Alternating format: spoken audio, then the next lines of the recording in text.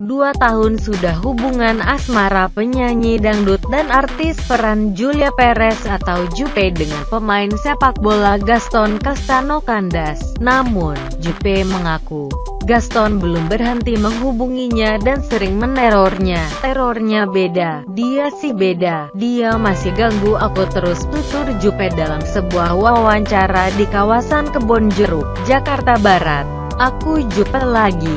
Lelaki Argentina yang kini bermain untuk klub Pelita Bandung Raya tersebut tak jarang mengancam akan menyebarkan foto-foto pribadi mereka berdua yang disebut oleh Jupe sebagai foto-foto yang aneh-aneh.